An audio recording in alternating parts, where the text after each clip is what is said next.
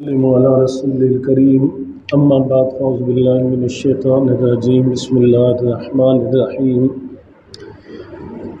إن الذين كفروا بعد إيمانهم ثم ازدادوا كفرا لن تقبل توبتهم أولئك هم الضالون.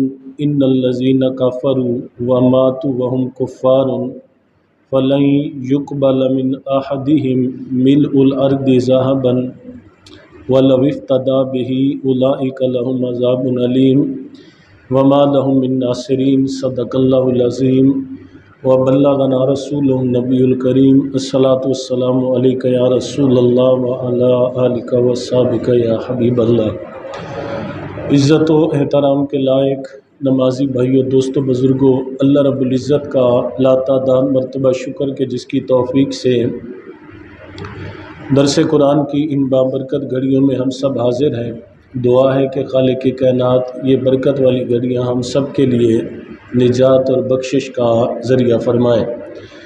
اللہ کے فضل اور اس کی خاص توفیق سے درس قرآن کا یہ ترتیب وار سلسلہ جو الحمد شریف سے شروع ہوا تھا۔ آج تیسرا پارہ جو ہے اللہ کے اس گھر میں مکمل ہو رہا ہے۔ اور تیسرے پارے کی آخری دو آیات مبارکہ کا مفہوم آپ کے گوش گزار کیا جائے گا۔ لیکن ان آیات کا ایک تعلق اس سے پہلے والے کلام کے ساتھ ہے، جس میں اللہ رب العزت نے ارشاد فرمایا وَمَن يَبْتَغِ غَيْرَ الْإِسْلَامِ دِينًا فَلَن يُقْبَلَ مِنْهُ وَهُوَ فِي الْآخِرَةِ مِنَ الْخَاسِرِينَ۔ اللہ ارشاد فرماتا ہے کہ جو شخص دین اسلام کے علاوہ کسی اور دین کی پیروی کرے گا، کسی اور دین کو چاہے گا، وہ اللہ کی بارگاہ میں قبول نہیں کیا جائے گا۔